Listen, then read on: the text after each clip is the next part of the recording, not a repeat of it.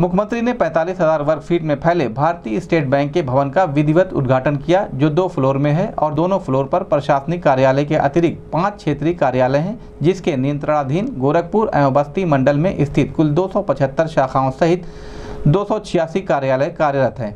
इसके अलावा दूर दराज के ग्राहकों को सेवाएँ देने के लिए माइक्रो एटीएम सहित एक हज़ार तीन सौ सत्तासी ग्राहक सेवा केंद्र कार्यरत है।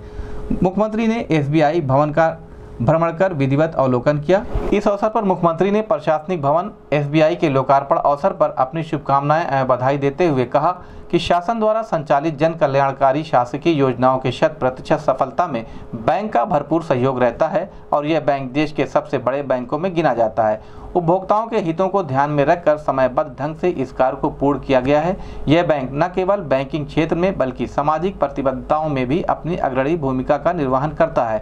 उन्होंने कहा कि आने वाले समय में लघु एवं सीमांत कृषकों को प्रति प्रति वर्ष छह हज़ार रुपये उनके खाते में भेजने की योजना बनाई जा रही है और 12 करोड़ किसानों को पहली किस्त का पैसा भेजा जाएगा। मुख्यमंत्री ने आगे कहा कि उत्तर प्रदेश में विकास की अपार संभावनाएँ हैं।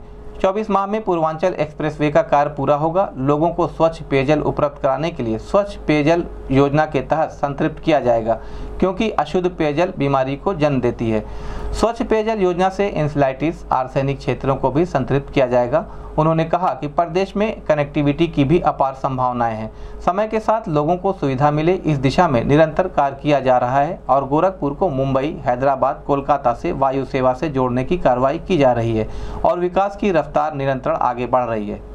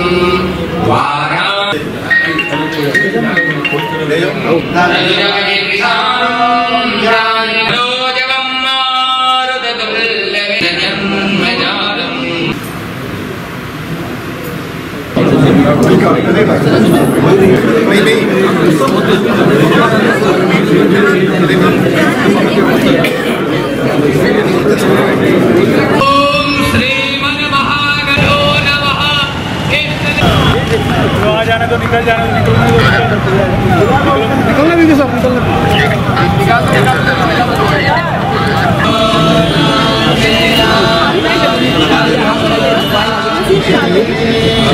पीछे ही रखिएगा प्लीज़ भारतीय स्टेट बैंक के प्रशासनिक भवन के लोकार्पण कार्यक्रम में हमारे बीच एसएससी मुख्यमंत्री यहाँ पर संपन्न हो रहा है। आगे सब लोग हट जाइए हमारे आदरणीय मुख्यमंत्री परम पूज्य योगी आदित्यनाथ जी महाराज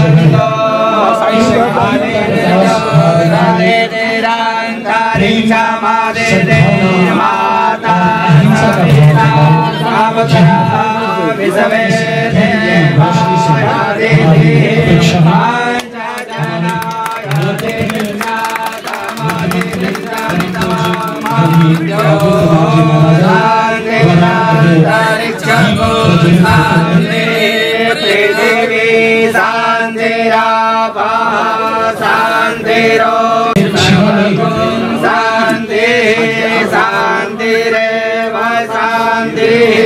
सा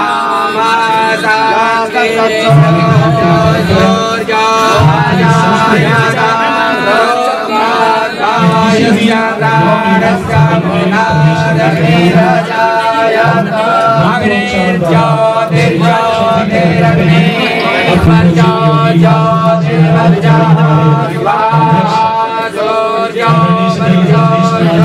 उपस्थिति के बीच में शिलालेख का अनावरण हो रहा है बहुत मैडम, उनको बोर्ड दिखाइए।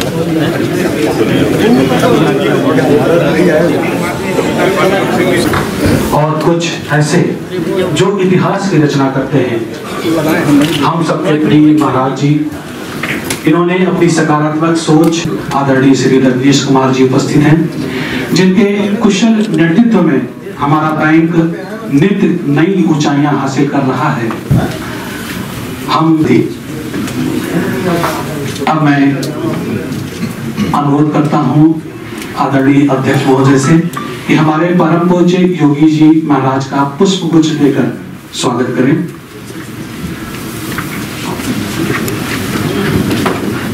श्रीमती सलोनी नारायण जी से अनुरोध करूँगा कि स्मृत चिन्ह देकर स्मृति चिन्ह देकर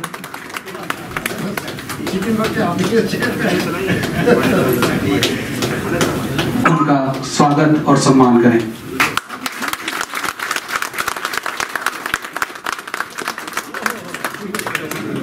श्री श्री योगी आदित्यनाथ जी महाराज एवं उपस्थित सभी भारतीय स्टेट बैंक के अधिकारी एंड कर्मचारी गण, ये मैं समझता हूँ कि भारतीय स्टेट बैंक के इतिहास में और गोरखपुर शहर के इतिहास में की और गोरखपुर की उसमें हमेशा से सतत प्रयास करता रहता है। दो सौ छिहत्तर शाखाएँ हैं इस आंचलिक कार्यालय के अंतर्गत और करीब 50 लाख कस्टमर्स भारतीय स्टेट बैंक सर्व करता है। 30 प्रतिशत के लगभग भारतीय स्टेट बैंक का मार्केट शेयर है, जो कि मैं समझता हूँ कि किसी भी आंचलिक कार्यालय के लिए बड़े गर्व की बात है कि इतना बड़ा मार्केट शेयर उनका है। जो आम जनता के लिए स्कीम्स चलती हैं, आपकी सरकार की, भारत सरकार की, उसमें भी पूरा योगदान भारतीय स्टेट बैंक का है। जैसे डायरेक्ट बेनिफिट ट्रांसफ़र है। सबसे बड़ा जो डायरेक्ट बेनिफिट ट्रांसफ़र है, वो हम लोग हैंडल करते लेटेस्ट टेक्नोलॉजी स्टेट बैंक के पास आज अवेलेबल है। सारी शाखाओं को पूरा ये एक निर्देश है कि ईमानदारी से और जो एक स्वच्छता अभियान प्रधानमंत्री जी का और आपका चल रहा है, उसमें बढ़ चढ़ कर भाग लें तो अभी जो शाखाओं की एक कल्पना आज से 20-30 साल पहले थी और आज है, एक बहुत बड़ा उसमें परिवर्तन और बदलाव आ चुका है। और स्वच्छता अभियान केवल फ़िज़िकल नहीं है, लेकिन कर्मचारियों के, हम लोगों के खुद के हर लेवल पे एक आचरण स्वच्छ हो, विचार स्वच्छ हो, वो भी एक कार्यक्रम जो है, एक बड़े स्तर पे और लगातार उस बात की जो पुष्टि है, वो हम लोग करते रहते हैं। तो मुझे मालूम है, सर, कि आपका समय बहुत अल्प समय अवेलेबल है और बहुत बिज़ी शेड्यूल है। तो मैं उन्हें भारतीय स्टेट बैंक के समस्त परिवार और लखनऊ मंडल और गोरखपुर आंचलिक कार्यालय की तरफ़ से विशेष रूप से आपका आभार व्यक्त करता हूँ कि आपने हमारे लिए समय निकाला और हमारा यहाँ पे उत्साह बढ़ाया बहुत बहुत शुक्रिया। श्री रजनीश कुमार जी से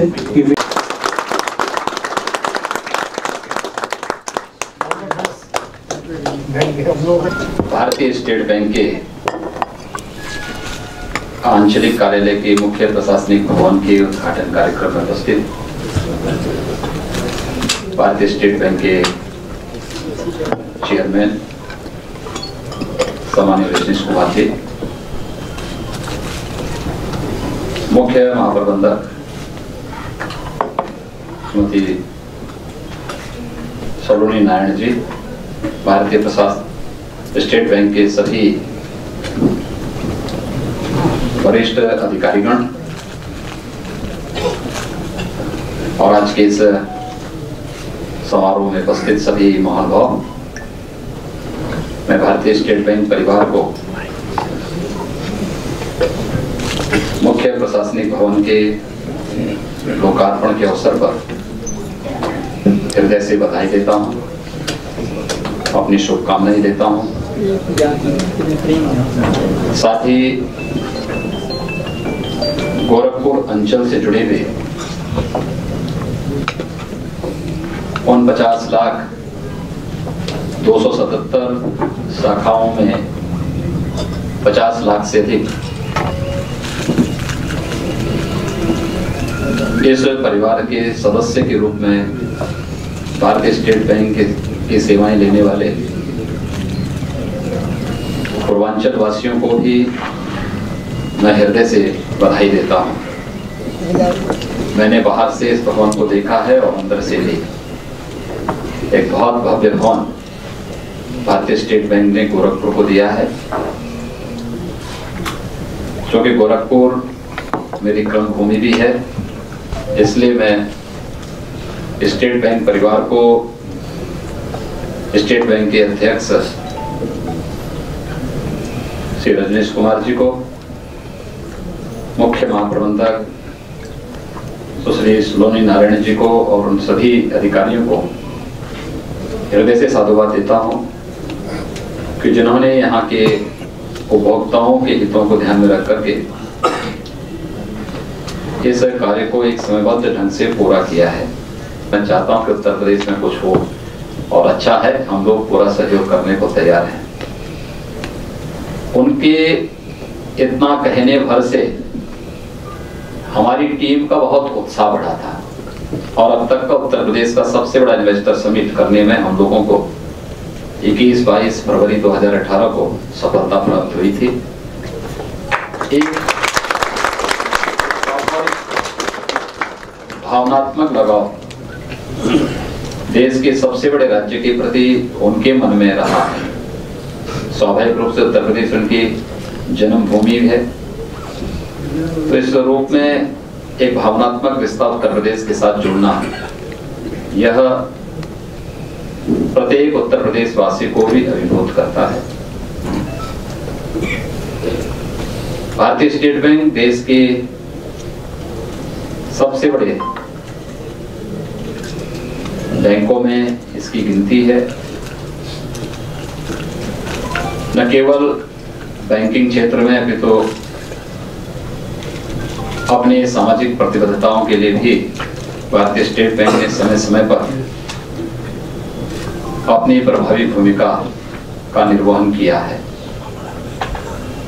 आज के समय में हम सब जानते हैं कि विगत साढ़े चार वर्षों के दौरान देश के यशस्वी प्रधानमंत्री श्री नरेंद्र मोदी जी के नेतृत्व में ऐसे अनेक फैसले लिए गए। जो देश के हित में महत्वपूर्ण थे। और उन फैसलों को सफलतापूर्वक लागू करने में, चाहे वह इस देश के अंदर विमुद्रीकरण के दौर रहा हो जब पूरे देश के अंदर काला धन के खिलाफ एक वृहद अभियान नोटबंदी के माध्यम से प्रारंभ हुआ था। स्टेट बैंक के सभी अधिकारी और कर्मचारियों ने जिस प्रतिबद्धता के साथ समय के बंधन से न बंध करके इस पूरी योजना को सफलतापूर्वक लागू करने के लिए स्मरणीय था। इसी प्रकार से पूरे देश के अंदर वन नेशन वन टैक्स के रूप में जीएसटी को सफलतापूर्वक लागू करने और एक आम व्यापारी जो अपनी मेहनत से एक पूंजी एकत्र तो करता है, लेकिन उस व्यापारी को टैक्स भरने के लिए दस टेबल में जाना पड़ता था। उसको भी राहत मिले और साथ ही एक सामान्य उपभोक्ता भी किसी भी प्रकार के शोषण से मुक्त रहे। जीएसटी को सफलतापूर्वक लागू करने डीबीटी के माध्यम से इस देश में भ्रष्टाचार पर प्रभावी प्रहार करने के जो जो मुहिम प्रधानमंत्री जी ने प्रारंभ की, देश के वित्तीय संस्थाओं की इसमें बहुत बड़ी भूमिका है। और उस अभियान को, क्योंकि हम सहज अनुमान लगा सकते हैं कि एक समय था जब देश के ही एक प्रधानमंत्री को कहना पड़ा था कि हम एक रुपया भेजते हैं, लेकिन नीचे दस पैसा जाता है। लेकिन डीबीटी ने यह परिवर्तन करके दिखाया है कि आज हमारे प्रधानमंत्री इस बात को दावे के साथ कह सकते हैं कि एक रुपया भेजूँगा तो एक रुपया उस गरीब तक पहुंचेगा जिसके लिए भेजा जा रहा है।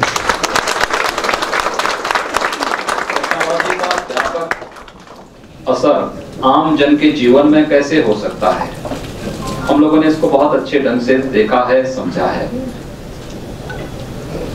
केंद्र सरकार ने आदरणीय प्रधानमंत्री जी ने बहुत सारी ऐसी योजनाएँ घोषित की जो एक आम नागरिक के जीवन में खुशहाली ला सकता है। चाहे वह प्रधानमंत्री मुद्रा योजना को सफलतापूर्वक इस देश के अंदर लागू करने का रहा हो लगभग 14 करोड़ से अधिक युवाओं ने इसका लाभ लिया है। प्रधानमंत्री जनधन योजना। वह योजना थी जिसके माध्यम से एक गरीब को हम डीबीटी का लाभ दे सकते हैं और शासन की किसी भी योजना के साथ जोड़ सकते हैं। ऐसे 36 करोड़ से अधिक परिवारों के बैंक में खाते खुलवाना। प्रधानमंत्री स्टैंड अप योजना या प्रधानमंत्री स्टार्टअप योजना हो या डिजिटल इंडिया की योजना। प्रधानमंत्री जीवन ज्योति योजना हो या प्रधानमंत्री जीवन सुरक्षा बीमा योजना। ये ऐसी अनेक योजनाएँ थी, जिन योजनाओं ने एक आम नागरिक के चेहरे पर खुशहाली लाने में बहुत बड़ी भूमिका का निर्वहन किया। और स्वाभाविक रूप से बैंकों की भूमिका उन योजनाओं को उन लोगों तक पहुँचाने में। विगत वर्ष हम लोगों ने प्रदेश के अंदर किसानों के लघु सीमांत किसानों के एक लाख रुपए तक के कर्ज माफ़ किए थे। एक चुनौती थी हम सबके सामने। लेकिन तकनीक का उपयोग करते हुए, प्रभावी ढंग से लागू करने का कार्य हम लोगों ने प्रदेश के अंदर किया।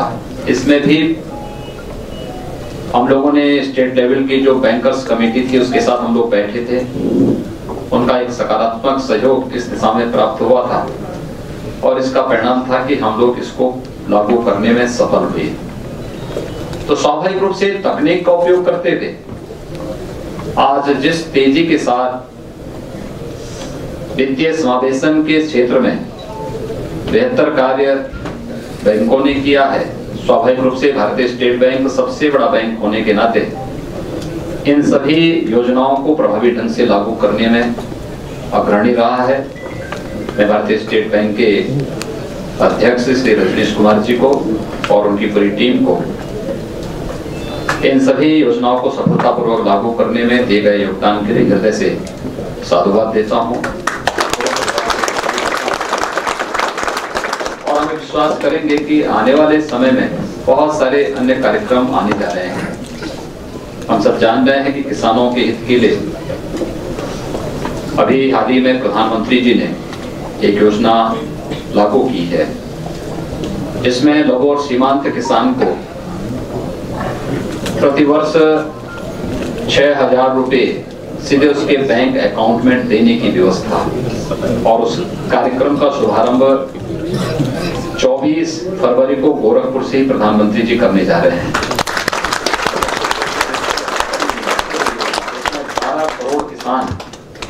एक क्लिक करके 12 करोड़ किसानों के खाते में पैसा जाएगा, पहली किस्त का पैसा जाएगा। तो 24 फरवरी को कार्यक्रम गोरखपुर से ही प्रधानमंत्री जी उसको आगे बढ़ाएँगे। उत्तर प्रदेश विकास की जिस प्रक्रिया के साथ आगे बढ़ा है मैं बार बार इस बात को कहता रहा हूँ कि उत्तर प्रदेश अपार संभावनाओं वाला प्रदेश है। जब प्रकृति और परमात्मा की इतनी कृपा उत्तर प्रदेश पर है, फिर उत्तर प्रदेश का नागरिक विपन्न कैसे रह सकता है? हम लोगों ने इस बृहद योजना को लिया है, इसका आधारशिला भी प्रधानमंत्री जी 15 फरवरी को रखेंगे। साथ ही इसके बाद बिंदु क्षेत्र को पूर्वी उत्तर प्रदेश के इंसेफ्लाइटिस और अन्य विषाणु जनित बीमारियों से प्रभावित क्षेत्र, आर्सेनिक और फ्लोराइड से प्रभावित क्षेत्रों को भी हम लोगों ने पेयजल की अपनी योजना में दिया है। प्रदेश के अंदर व्यापक संभावनाएँ हैं। हम लोगों ने तय किया है कि पश्चिमी उत्तर प्रदेश को प्रदेश की राजधानी और प्रयागराज से जोड़ने के लिए भी एक लगभग 600 किलोमीटर का एक्सप्रेस गंगा एक्सप्रेस वे हम बनाने की प्रक्रिया को आगे बढ़ा रहे हैं। हमने सर्वे का आदेश दिया उस पर अलाइनमेंट कैसे तय होना है, इसके बारे में एक सर्वे हमारा चल रहा है। हम लोग अगले जो प्रदेश का सप्लीमेंट्री बजट आएगा, उसमें उसकी धनराशि की व्यवस्था करेंगे और फिर उसके बाद हम वित्तीय संस्थाओं से आग्रह करेंगे कि जो भी लोग इसमें रुचि लेना चाहेंगे, बहुत अच्छी व्यवस्था, अच्छे ढंग से चलेंगे। कनेक्टिविटी के अपार संभावनाएँ उत्तर प्रदेश के अंदर है। जिस समय हमारी सरकार आई थी, उस समय प्रदेश के अंदर केवल तीन एयरपोर्ट फ़ंक्शन में थे। गोरखपुर से एक फ़्लाइट थी, वाराणसी और लखनऊ थे। आज के दिन पर छह एयरपोर्ट हमारे फ़ंक्शन में हैं, जहाँ से बेहतर एयर कनेक्टिविटी है और नौ एयरपोर्ट पर वर्तमान में कार्य चल रहा है। हम जेवर में एक नया एयरपोर्ट इंटरनेशनल ग्रीनफील्ड एयरपोर्ट हम जेवर में बनाने जा रहे हैं। जो देश का सबसे बड़ा एयरपोर्ट होगा, इस पर हमारा कार्य इसी प्रकार अयोध्या में भी हम एक नए एयरपोर्ट को लेकर के आ रहे हैं। बेहतर कनेक्टिविटी की दृष्टि प्रदेश के अंदर अपार संभावनाएँ हैं। मैं देख रहा था, कल मैं गोरखपुर एयरपोर्ट में था। मेरे सामने ही दो फ़्लाइट दिल्ली से आई थी। दोनों बोइंग थे 180 सीटर और फुल थे। मैं पूछ रहा था एक पैसेंजर से, मैंने कहा, कितना किराया लगता है दिल्ली से इस समय? तो उसने बताया कि तीन हज़ार रुपये मैं आज से आठ वर्ष पहले दिल्ली से गोरखपुर आया था, तीस हज़ार रुपये में टिकट लिया। और आठ वर्ष के बाद जब हम लोग किसी रूट पर यात्रा कर रहे हैं तो तीन हज़ार रुपये में हमें टिकट मिल रहा है। ये है कैसे हम समय के साथ लोगों को सुविधा का लाभ दे सकते हैं और उनके जीवन स्तर को उठा सकते हैं। आज उड़ान योजना के अंदर चल रही ये सुविधाएँ आम जन को और उनके समय को बचत करने के साथ साथ उनको इस प्रकार की बेहतर सुविधाएँ भी उपलब्ध करा रही हैं। अभी अगले महीने से गोरखपुर को मुंबई से जोड़ने, गोरखपुर को हैदराबाद से जोड़ने, गोरखपुर को कोलकाता से जोड़ने, यानी जिस गोरखपुर से एक फ़्लाइट थी, आज दिल्ली के लिए तीन फ़्लाइट है और बेंगलोर के लिए एक है। और अगले एक महीने के अंदर गोरखपुर से चार नई फ़्लाइट शुरू होने जा रही है। ऐसे अलग अलग क्षेत्रों से भी ये कोई क्षेत्र हैं जिनके माध्यम से हम लोग देख सकते हैं कि विकास किस रफ्तार से आगे बढ़ रहा है। प्रधानमंत्री जी की फ्लैगशिप स्कीम को भी हम लोगों ने बहुत प्रभावी ढंग से यूपी में लागू किया। लोग सोचते होंगे बहुत बार कि क्या संभव है? डेढ़ वर्ष में प्रदेश के अंदर 20 लाख गरीबों को आवास उपलब्ध कराए गए जिसमें 11 लाख से अधिक परिवार ग्रामीण क्षेत्र में हैं। ग्यारह लाख तिरपन हज़ार परिवार हैं जिन्हें हम ग्रामीण क्षेत्र में एक एक आवास दिए हैं। एक आवास में जिसमें एक लाख बीस हज़ार रुपए आवास के लिए, बारह हज़ार रुपए टॉयलेट के लिए और लगभग पंद्रह हज़ार नौ सौ रुपए उन्हें हमने मनरेगा की मजदूरी के बराबर एक रकम भी उनको उपलब्ध कराई शहरी क्षेत्र में आठ लाख छियासठ हज़ार की संख्या है, जिन्हें हम लोगों ने ढाई लाख रुपए प्रति परिवार ये राशि उपलब्ध कराई है। प्रदेश के अंदर, स्वच्छ भारत मिशन के अंदर ढाई करोड़ से अधिक परिवारों को टॉयलेट के लिए धनराशि उपलब्ध कराई गई और उनके टॉयलेट बनाकर के उत्तर प्रदेश को खुले में शौच से मुक्त कराया गया। एक करोड़ से अधिक परिवारों को सौभाग्य योजना में निशुल्क विद्युत के कनेक्शन उपलब्ध करवाए गए। वर्तमान में हम राशन कार्ड उपलब्ध करा रहे हैं तीन करोड़ पचपन लाख परिवारों को। ये राशन कार्ड अंत्योदय पात्र गृहस्थी के हैं, जिसमें प्रत्येक परिवार को दो रुपए किलो चावल और तीन रुपए किलो गेहूँ मिलेगा।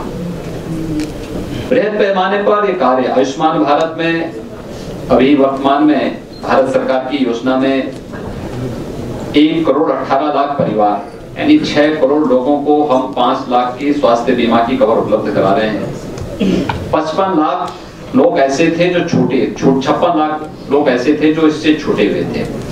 हम लोगों ने उत्तर प्रदेश के बजट में उनके लिए भी धनराशि का प्रावधान किया है कि हम उत्तर प्रदेश के अंदर इस योजना को, बचे हुए लोगों को उत्तर प्रदेश सरकार अपने राज्य के बजट से इन्हें यह राशि उपलब्ध कराएगी, सुविधा उपलब्ध कराएगी। टूरिज़्म के क्षेत्र में भी। आज आप प्रयागराज देख रहे होंगे। प्रयागराज में कल तक 15 करोड़ से अधिक श्रद्धालुओं ने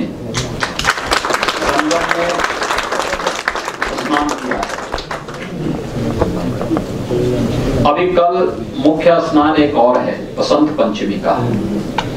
ये शाही स्नान भी है और मेरा अनुमान है कि काफ़ी बड़ा आयोजन कल वहाँ पर होगा। इसके बाद फिर दो स्नान, माघी पूर्णिमा का और शिवरात्रि की और होंगे।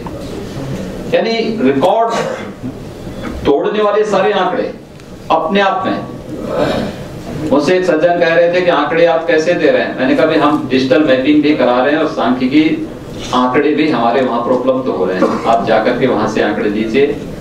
डिजिटल मैपिंग में जाकर के देखिए। ये आंकड़े आपको वहीं से प्राप्त हो जाएँगे। और जब शुरू में प्रधानमंत्री जी ने मुझसे पूछा कि आखिर कुंभ में कितने लोग आएँगे तो मैंने कहा, बारह से पंद्रह करोड़। कहा, पंद्रह करोड़ बहुत बड़ी संख्या नहीं है। और पंद्रह करोड़ आधा कुंभ ही अभी पूरा हुआ है कि पंद्रह करोड़ की एक बड़ी श्रद्धालुओं की संख्या अब तक कुंभ में आ चुकी है। पर्यटन के पार है आप अयोध्या में दीपोत्सव के कार्यक्रम के साथ देखेंगे। अयोध्या में एक भी धर्मशाला, एक भी होटल होटल वहाँ पे कम है, लेकिन होटल दस लोगों ने नए प्रस्ताव दिए हैं अयोध्या में होटल बनाने के लिए। ऐसे ही वाराणसी में वाराणसी में किसी भी पर्व और त्योहार के समय कहीं आपको जगह नहीं मिलेगी। यानी बढ़ती भी उत्तर प्रदेश के अंदर पर्यटन की अपार संभावनाओं को तलाशने के लिए भी आगे बढ़ने के लिए उत्तर प्रदेश पूरी तरह तैयार है। और मुझे लगता है कि भारतीय स्टेट बैंक जैसे संस्थाओं की बड़ी भूमिका हो सकती है उत्तर प्रदेश को आगे बढ़ने के लिए और उन संभावनाओं को व्यावहारिक धरातल पर उतारने के लिए, जिसकी लंबे समय से प्रतीक्षा थी। मैं एक बार पुनः भारतीय स्टेट बैंक के अध्यक्ष रजनीश कुमार जी को, मुख्य महाप्रबंधक और अन्य सभी अधिकारियों को, पूरे स्टेट बैंक परिवार को इस मुख्य प्रशासनिक भवन के लोकार्पण अवसर पर हृदय से बधाई देता हूँ, अपनी शुभकामनाएँ देता हूँ और आश्वस्त करता हूँ उत्तर प्रदेश सरकार आपकी सेवाओं को पूरी तरह लेने के लिए न केवल पूरी तरह तैयार है तो समय समय पर उत्तर प्रदेश सरकार भी आप लोगों के साथ मिलकर के इस अभियान का हिस्सा बनेगी। आप सबके प्रति मेरी शुभकामनाएँ। धन्यवाद।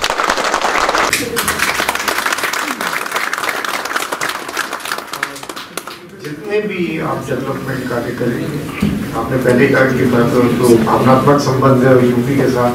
तो बैंक तो हमेशा आगे बढ़ के उसमें।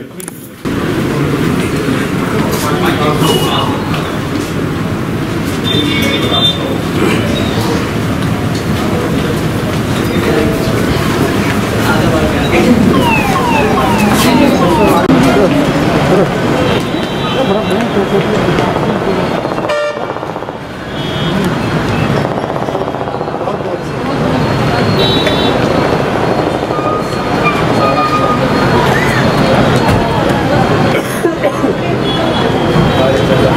chơi nhiều lắm